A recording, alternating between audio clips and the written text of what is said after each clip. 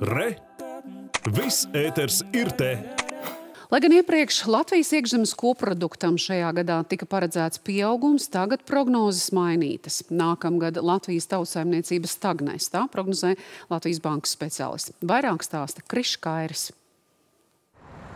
Latvijas banka ir nedaudz palielinājusi IKP pieauguma prognozi šim gadam. Tā noteikti kā 3%, kas saistīts ar ekonomikā veiksmīgu šā gada sākumu. Tomēr nākamā gada prognozes ir pesimistiskākas. No iepriekš jūnijā lēstā 2,4% pieauguma 2023. gadā Latvijas banka prognozi mainījusi uz samazinājumu 0,2% apmērā.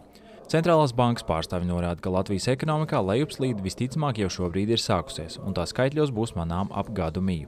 Tomēr pastāv cerība, ka tā nebūs ilgstoša.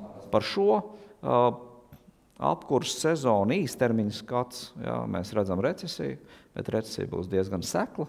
Ja?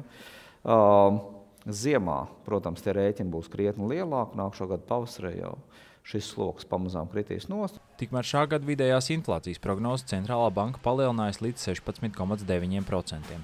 Lai gan visai augsta inflācija novērot arī citvietā Eiropā, Baltijas valstīs tā ir izteikti liela. Tas tādēļ, ka Baltijā no cilvēku kopējā patēriņa struktūras lielu īpatsvaru veido tēriņu pārtikai, kā arī enerģijai, kurai Baltijas valstīs ir straujāk pieaugušas cenas, kā arī nav samazināti nodokļi, kā to darījušas citas valstis. Arī saistībā ar pārtiku Latvijā, Lietuvā un Igaunijā ir izveidojies inflāciju palielinošs process. Šeit vērojama ātrāk pārtikas cenu pārnes no globālajiem tirgiem uz vietējo tirgu, proti uz cenu pieaugumu tiek reaģēts ļoti strauji. Attiecībā uz sabiedrībai augsto cenu apstākļos sniedzamo atbalstu Latvijas bankas pārstāvji norāda, ka tas daļai ļauj samazināt inflāciju.